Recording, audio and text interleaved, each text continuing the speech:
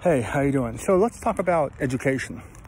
Um, one of the problems we have in the in the U.S. is that whether you pay for education or whether you receive it based on the governmental tax situation, it's no longer the case that you're probably going to get even an adequate education.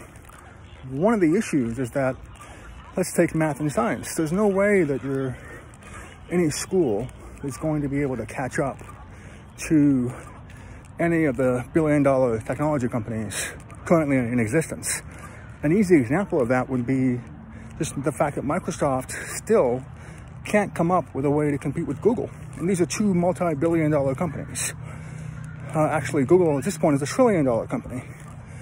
So if you're looking at a situation where math and science are going to create breakthroughs, it's probably going to be on the scientific side which in a way that's aligned with data analysis. But that data, data analysis is in a position where it's all, it's not going to be a situation where an individual is going to be able, going to be able to create it, the next big thing, in his garage or anywhere else. It's going to be a situation where a billion dollar company competes with another billion dollar company in order to get maybe a government contract, a banking loan, and so on and then tries to establish a dominant marketing position, whether it's Google's search engine or Amazon's AWS, before anybody else can catch up. And so that's the math and science side. Now with science, like I said, you can be a little bit more optimistic, but the fact of the matter is that even with science, you're trying to, you know, you notice there hasn't been, there haven't been that many breakthroughs. Nobody's cured cancer. Uh, you know, the reason for, there's a reason for that. And primarily the reason for that is that you know science tends to be trial and error. We're trying to cut off possibilities uh, through lab experiments. We're not necessarily there's no way to create a lot of scientific discoveries have been accidental. So that's the math and science side.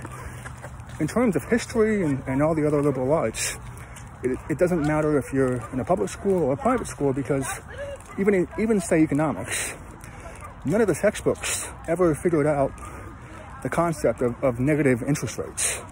There's nobody that can say, you know, you pick up a textbook, unless it's something that's in the last five, five years, then the, the models, all of them are completely outdated. So the minute you go to any school and pick up an economics textbook, all the models are wrong. So you're, you're literally paying, whether the government or a private school, to be fed garbage. And that's the so-called hard liberal arts. Now imagine what happens when you go into something like history. Well, history, if you go to a private school, whether it's, you know, a non-denominational school um, or a religious school, no matter what, the human history is, is, um, is fortunately or unfortunately recorded, depending on how far back you go, either by theologians um, who spread the language, languages based on a alleged connection with God, so that you can see it as a marketing hook. I've got this special divine relationship, check it out. Or you can see it as something sincere. Um, but overall, you know, what you're looking at, if you go to a public school, is unfortunately, you know, another problem where the history is not going to be taught properly because the government has profited, at least in the US, from slavery, from all these things that are patently immoral that it doesn't necessarily want to you know hide but obviously doesn't want to speak up about it. A very let me give you a couple of, of examples. You know the fact that you know that people don't know that the southern united states was colonized by catholic spain and then anti-catholic france or just the fact that the united states was colonized. You ask somebody they don't know that. They don't can't figure out, I haven't quite made the connection between, you know, why we're in a city that has a Spanish name. They probably think it comes from Mexico. I know I was never told, you know, why we're living in a place that was, you know, has so many Spanish names.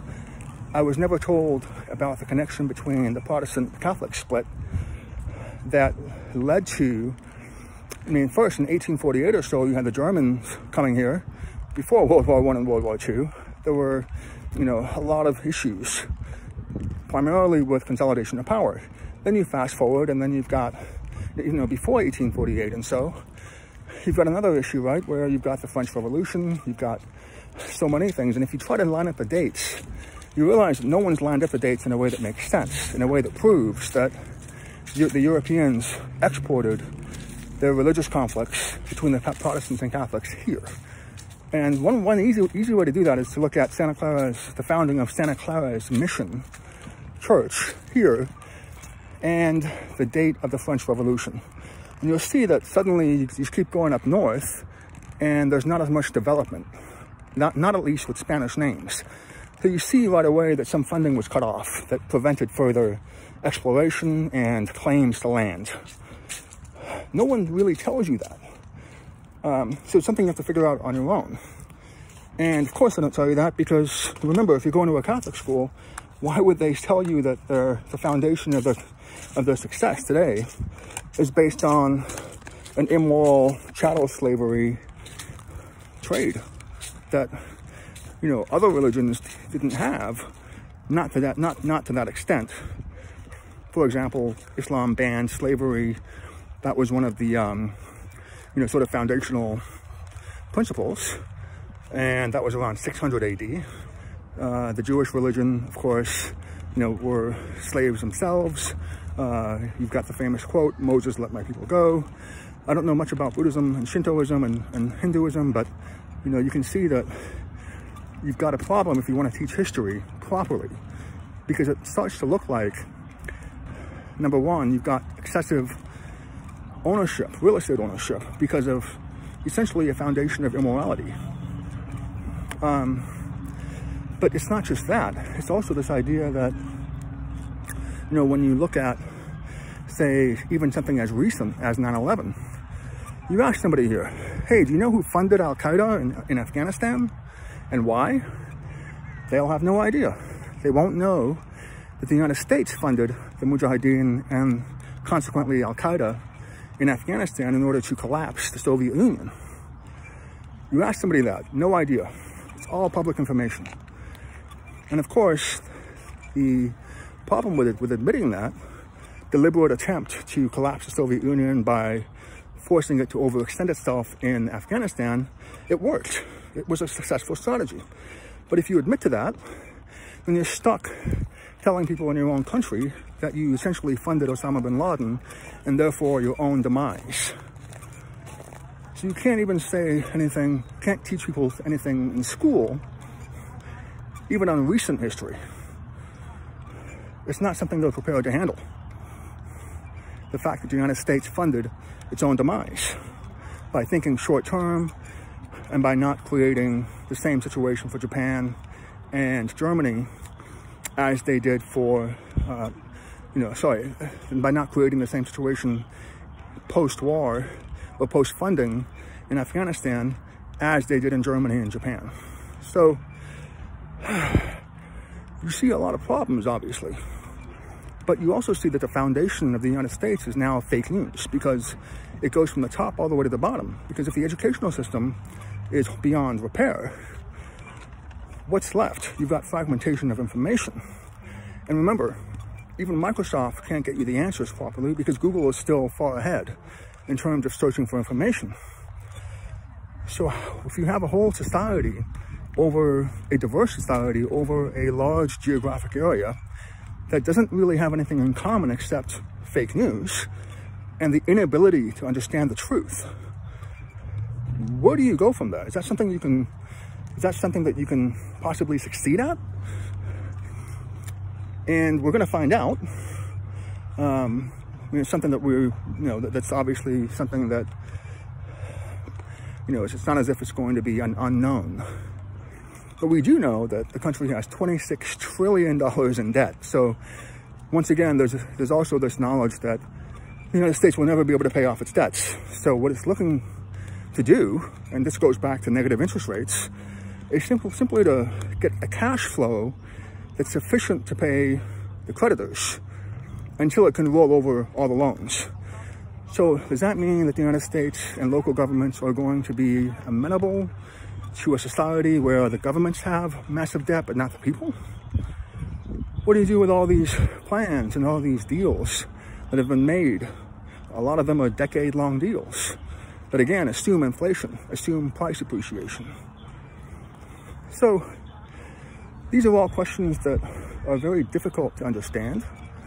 And the United States is having some serious problems in terms of trying to create a discussion around a foundation of truth, while at the same time complaining about fake news from foreign countries.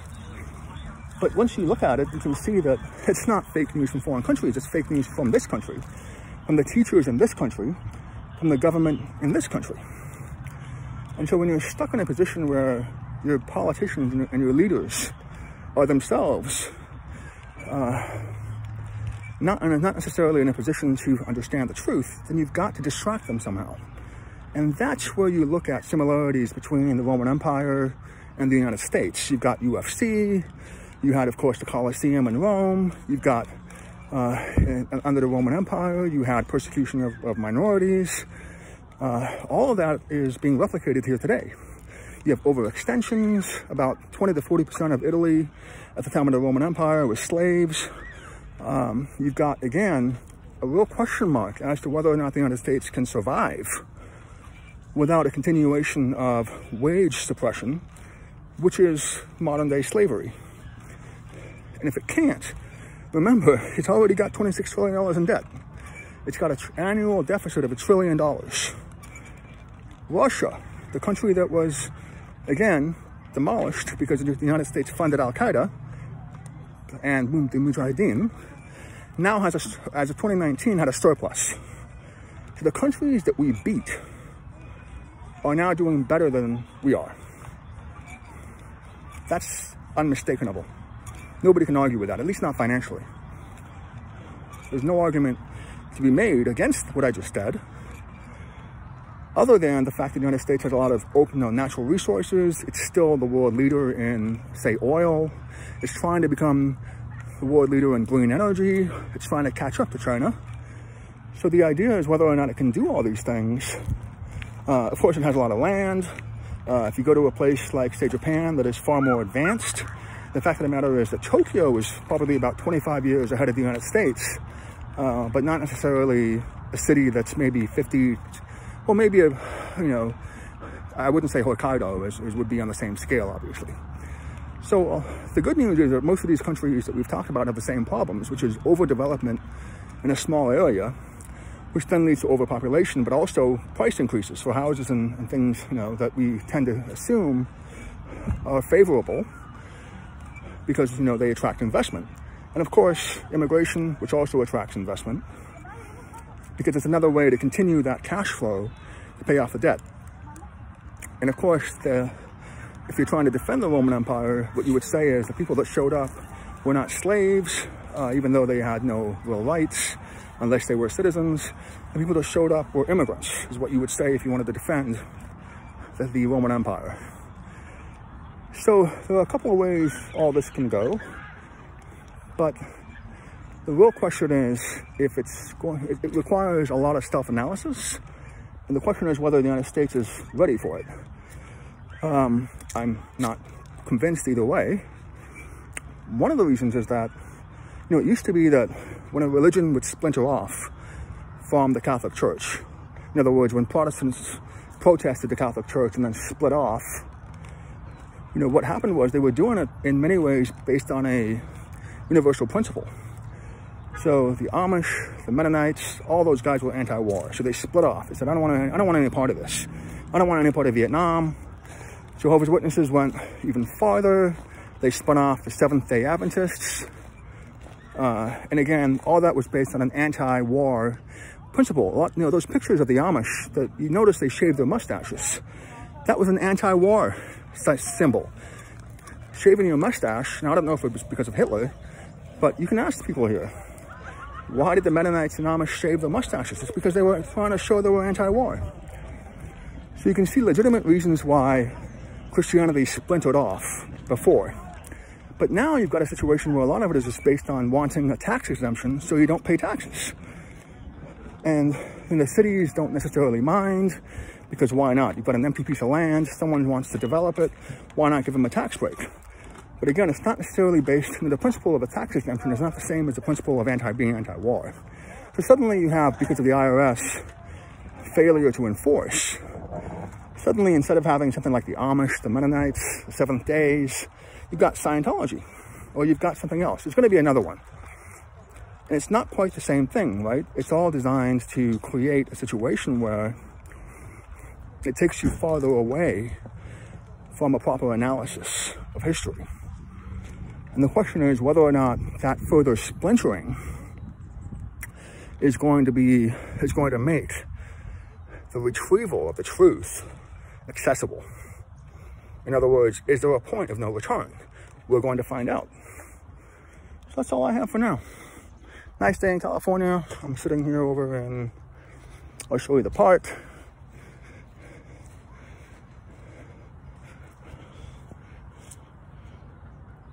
Is.